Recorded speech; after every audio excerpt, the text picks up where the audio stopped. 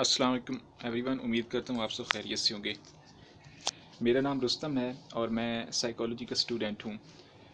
आज हम बहुत ही फ़ेमस साइकोलॉजी का टेस्ट स्टडी करने जा रहे हैं। जैसा कि आप सब जानते हैं कि हमने कोर्स का आगाज़ किया हुआ है सीरीज़ का आगाज़ किया हुआ है साइकोलॉजिकल टेस्टिंग एंड असेसमेंट तो उसमें स्टैनफोर्ड बीने इंटेलिजेंस स्केल बहुत ही फ़ेमस टेस्ट है। बेसिकली हम स्टडी कर रहे हैं एबिलिटी टेस्टिंग देखिए टेस्टिंग के मेजर टू बिग एरियाज़ हैं। Ability testing and personality testing ठीक है? तो इसके अलावा न्यूरोसाइकोलॉजिकल टेस्टिंग भी होती है। तो हम तीनों को स्टडी करेंगे। अभी हम एबिलिटी टेस्टिंग को कर रहे हैं। इसमें मज़ीद इसके थ्री पोर्शन हैं। Intelligence testing aptitude testing and achievement testing ठीक है? तो इंटेलिजेंस टेस्टिंग हम स्टडी कर रहे हैं। इंटेलिजेंस क्या होती है? मुख्तलिफ़ थेरीज़ वो सब कुछ हमने देख लिया है। आपको डिस्क्रिप्शन बॉक्स में लिंक मिल जाएँगे। और आप वहाँ से भी उसके अलावा आप जो हमारा लिंक्स हैं, उनसे भी मुस्तफ़ हो सकते हैं, ठीक है? तो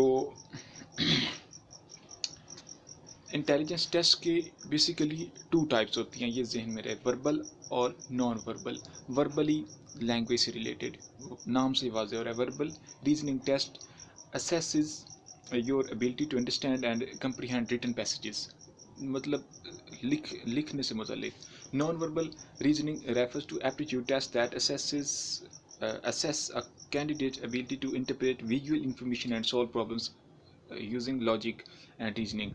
Okay okay, तो इसमें आँखों से रिलेटेड बसरी सलाहियत का आपने इस्तेमाल करना देखना है और प्रॉब्लम को सॉल्व करना है वो है नॉन वर्बल टेस्ट ओके तो यहाँ पे कुछ फ़ेमस टेस्ट हैं जो हमारी आउटलाइन में शामिल हैं हम इनको स्टडी करेंगे वर्बल और non verbal Raven progressive matrices non verbal test है क्लियर नॉन वर्बल ये हम स्टडी कर चुके हैं आपको लिंक मिल जाएगा।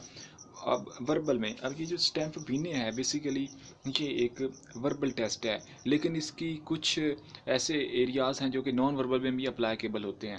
इसी तरह वेजलर अडल्ट इंटेलिजेंस स्केल भी वर्बल में काउंट किया जाता है, लेकिन इसके कुछ पोर्शंस हैं जहाँ पे नॉन वर्बल भी एक्टिविटीज़ होती हैं। तो ये जो टेस्ट है हमारा बीने इंटेलिजेंस स्केल ये बेसिकली डिवेल्प किया था एल्फा बीने ने, ये कौन था? ये वो पहला बंदा था जिसने टेस्टिंग और टेस्ट क्या होता है? इसको मुतारफ़ करवाया था। और मेंटल एज और क्रोनोलॉजिकल एज क्या होती है? उसका कॉन्सेप्ट लॉन्च किया था आईक्यू पहली थ्योरी बताई थी, इसने बताया था, एक किस्म की इंटेलिजेंस होती है जिसको इसने आईक्यू का नाम दिया था। सिंगल फैक्टर थ्योरी इसने प्रेजेंट की थी। फ्रेंच साइकोलॉजिस्ट था यूनिवर्सिटी ऑफ़ पेरिस में ये अपनी खिदमत सर अंजाम दे चुका है। इंटेलिजेंस टेस्टिंग का ये फादर है। स्कूल किड्स पर इसने बेसिकली ये वाला टेस्ट अप्लाई किया था और इसको जो पेरिस गवर्नमेंट थी, उन्होंने उन्होंने इनको बुलवाया था और बताया था कि कुछ बच्चे स्पेशल बच्चे होते हैं एबनॉर्मल होते हैं, वो दूसरे बच्चों के साथ पढ़ नहीं सकते प्रॉपरली तो उनके लिए कुछ इस तरह के टेस्ट डेवलप किए जाएँ ताकि उनको अलग उनके बैच बनाए जाएँ, उनमें उनको स्पेशल एजुकेशन दी जाए। तो फिर इन्होंने कुछ टेस्ट बनाए जो कि नॉर्मल बच्चों पर अप्लाई किया और फिर इन्होंने अपनी फाइंडिंग्स हासिल की। इन्होंने फ़र्स्ट आईक्यू टेस्ट डिवेल्प किया था। इन्होंने मेंटल एज का कॉन्सेप्ट दिया था। तो ये इनकी डेफिनेशन इंटेलिजेंस के वाले से। ये क्या कहते हैं? Intelligence means the capacity to जज well reason well and comprehend well जज well best way to express ideas reason क्या होता है? Not fair of error comprehend benefits of it okay तो ये इंटेलिजेंस की वो डेफिनेशन बताते हैं।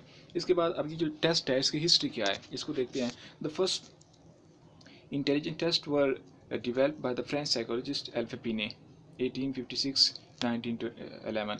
The Stanford Binet intelligence scale is an individually administered intelligence test that was revised from the original Binet Simon scale by Lewis M. Terman. M Terman के दौर में इसको रिवाइज किया गया था अ साइकोलॉजिस्ट ये टर्मन कौन था ये स्टैनफोर्ड यूनिवर्सिटी में एक साइकोलॉजिस्ट था the Stanford Binet intelligence skill is now in its fifth edition S B F S B five and was released in uh, 20, uh, 2003. It is cognitive ability and intelligence test that is used to diagnose developmental or intellectual deficiencies in young children. Young children में intellectual deficiency को मैयर करने के लिए ये test इस्तेमाल होता है basically ये इसका पर्पज़ है okay the test measure five factors knowledge fluid reasoning fluid reasoning जो आपकी इनबिल्ट रीजनिंग होती है जो आपको आपके माइंड में चीज़ होती है जो आपको नेचरली चीज़ मिलती है, वो आपकी fluid reasoning quantity reasoning visual spatial reasoning working memory और इन ये पाँच मेजर फैक्टर्स हैं जिनको ये स्टडी करता है test both verbal and non verbal responses are measured okay stand for Binet intelligence scale if performance on certain task or test items improved with chronological or physical age देखो chronological age आपकी वो होती है जो आपकी mental as है। मतलब एक बच्चा पाँच साल का है और उसकी जो बातें हैं, उसके जो चीज़ों को समझने का लेवल है, वो 18 साल के बच्चे का है। तो वो 18 साल का कंसीडर किया जाएगा। अगर जब वो पाँच साल का है, लेकिन उसका जहनी तौर पर क्रोनोलॉजिकल एज जो है, वो 18 साल के बराबर है। तो ये इसका कॉन्सेप्ट था कि जो बच्चा पाँच साल का है उसकी अगर कैपेसिटी रीजनिंग सवाल करने के हवाले से, बात करने के हवाले से, समझने के हवाले से पंद्रह साल के बच्चे की तरह तो वो पंद्रह साल का कंसिडर किया जाएगा। उसकी उम्र जहनी तौर पर उसकी उम्र पंद्रह साल होगी। अगर वो, उसकी जो फ़िज़िकल एज है, वो पाँच साल है। तो ये एक गैप था। Performance could be use to distinguish more intelligent people from less intelligent इससे ज़्यादा इंटेलिजेंट कौन है और कम इंटेलिजेंट कौन है, इसको मैयर किया जाता है। Within a particular age group एक खास एज ग्रुप में on the basis of the principle Binet devise the first formal intelligence test which was design to identify the dullest ज़्यादा नालायक और डल कौन है students in the Paris school system in order to provide with with the remedial aid remedial aid से मुराद होता है एक uh, ऐसी इमदाद तिबी इमदाद जिससे आपको uh, एक तो आपके एज के हवाले से जहन के हवाले से आपको तालीम दी जा रही है और वो आपके लिए मदद भी है। Binet began by presenting task to same age students who had been labelled bright or dull by their teachers तो उन पर इन्होंने ये अपने टेस्ट अप्लाई किए थे जो डल या ब्राइट साबित हो चुके थे अपने इस से। फ़ंक्शन ऑफ़ टेस्ट ये टेस्ट कैसे फ़ंक्शन करता है?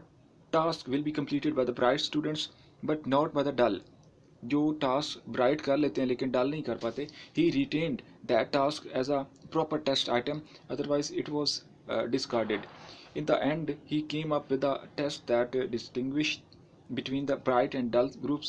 And with the further work on the that distinguish uh, among children in different age groups on the basis of Binet test children were assigned a score relating to their mental age uh, the age for which a given le level of performance is average या typical अब एक तो फ़र्क वाजह हो जाता था कि bright कौन है और डल कौन है फिर जो डल होते थे, उन पर वो दोबारा अप्लाई किया जाता था और उसका जो लेवल होता था, वो ज़रा लो होता था। उससे फिर उनका एक क्रोनोलॉजिकल एज निकलती थी। अब यहाँ पे फॉर एग्जांपल उसने पुट किया है कि अगर एक आठ साल का बच्चा है और उसको फोर्टी फाइव आइटम्स दिए जाते हैं और उनके करेक्टली आंसर कर लेता है तो फिर वो जो आठ साल का बच्चा है consequently whether the person taking the test was 20 years old or 5 years old, he or she would be uh, have the same mental age of यानी वो बच्चा चाहे आठ साल का या बीस साल का है या पाँच साल का है तो उसके जो आंसर ठीक हैं वो उसी एज में कंसिडर किया जाएगा जिसके लिए वो आइटम्स हैं। तो अगर यहाँ पे देखते हैं आई क्यू होता है इसको वो पीछे वाले जो एग्जांपल है यहाँ पे पुट करते हैं।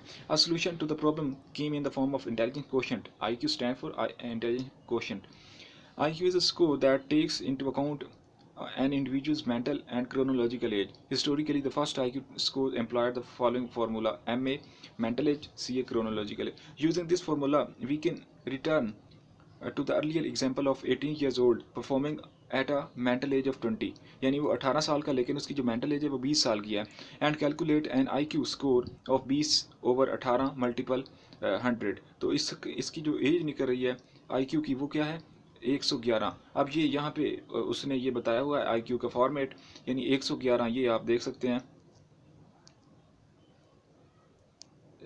ये 111 इस लाइन में फॉल कर रहा है। ठीक है 110 119 तो इसमें ये अबव एवरेज अब ये जो above average average below average ये जो तीन फोर फाइव सिक्स पोर्शन है, ये नॉर्मल बच्चे हैं। इसके अलावा ये सुपीरियर एक्सट्रीम सुपीरियर ये बहुत ज़्यादा जीनियस बच्चे हैं। ठीक है, इसके अलावा जो सिक्स से नीचे हैं border line feeble imbecile idiot ये डाल किस्म के होते हैं। तो ये उसने बी ने दिया एक कॉन्सेप्ट दिया था आई क्यू के हवाले से। तो इसकी जो क्रोनोलॉजिकल एज होती है और उसकी जो मेंटल एज होती है, उसको मल्टीप्लाई करना होता है। सॉरी उसको डिवाइड करना होता है, ये फॉर्मूला है। Mental age over chronological age multiply hundred तो इसको डिवाइड करने के बाद हंड्रेड से उसको मल्टीप्लाई कर देना और जो आंसर है उसको इस फॉर्म इस फॉर्मेट में देख लेना, ये उसका आई लेवल होगा। अगर वो फोर फाइव सिक्स में फॉल कर तो वो नॉर्मल है। इससे पहले इब्तदाई नंबरों में है तो वो बहुत ज़्यादा इंटेलिजेंट है और अगर लास्ट पर है तो वो इडियट डल किस्म का है। अब ये जो स्केल है इसका इस्तेमाल कैसे किया जाता है? मैयर इंटेलेक्चुअल डेफिशेंसीज बेसिकली ये इंटेलेक्चुअल डेफिशेंसीज को मैयर करता है। Useful for general intelligence use for two years to forty five years superior adult very effective only for sixteen years यानी बेसिकली ये जो सिक्सटीन ईयर्स के एज uh, में fall करते हैं फिफ्टीन सिक्सटीन फोर्टीन इनके लिए इफ़ेक्टिव है। बाकी इसको दो से पैंतालीस साल तक के जितने भी, इसमें पर्सनैलिटीज़ आती हैं, उन पर अप्लाई किया जा सकता है, लेकिन इफ़ेक्टिव सोलह साल के लिए। नॉट एक्यूरेट फॉर अडल्ट जो एक्सट्रीम लेवल के अडल्ट हैं, बाईस साल, बीस साल, इससे ऊपर, उनके लिए ज़्यादा एक्यूरेट नहीं है, ठीक है? तो इसका जो पूरा फॉर्मेट है, पूरा जो टेस्ट है, उसका जो बुकलेट है, कैसे उसके जो आइटम्स हैं, वो पूरा आपको यहाँ पे डिस्क्रिप्शन में लिंक्स मिल जाएँगे, आप वहाँ से इनको डाउनलोड भी कर सकते हैं। एंड आई होप ये आप लेक्चर आपके लिए बहुत ज़्यादा हेल्पफुल रहा होगा। फाइनली थैंक्स चैनल को सब्सक्राइब करें शेयर करें और वीडियो को लाइक करें. Okay thanks